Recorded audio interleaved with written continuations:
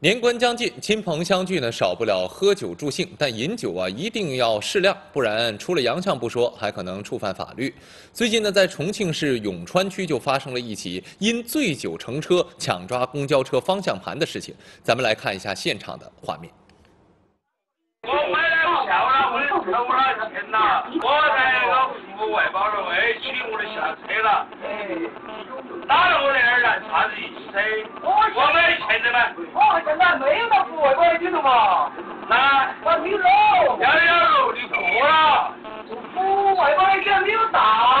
监控画面显示，当时幺幺六路公交车正在开往服务外包员的路上，车上一名男子以为坐过了站，要求司机原路返回，并干扰司机驾驶。我我是不行，钱我拿到，洗澡，今晚上咋说？哎呀，哎呀，报警，报警，马上马上马上过来，报警，马上就过来。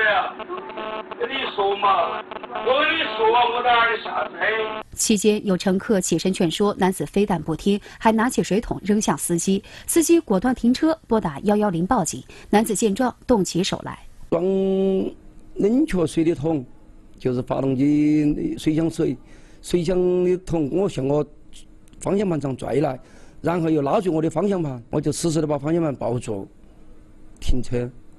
停了车过后，我就报警。报警，他说你还要报警啦，老子就要打你。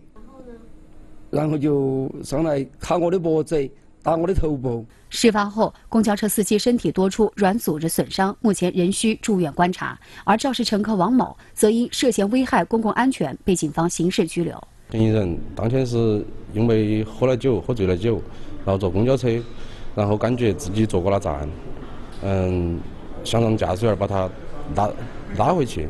但事实上，当时车辆还没有到，没有到他，没有到达他要到的那个站，嗯，所以说，然后他就因为喝醉了嘛，呃，不清醒，然后都发生了那个那个事情，然后遭驾驶员闹起抢那个方向盘，呃，准备证据收集完成之后啊，然后就进行移送审查起诉那些。直播海南记者报道。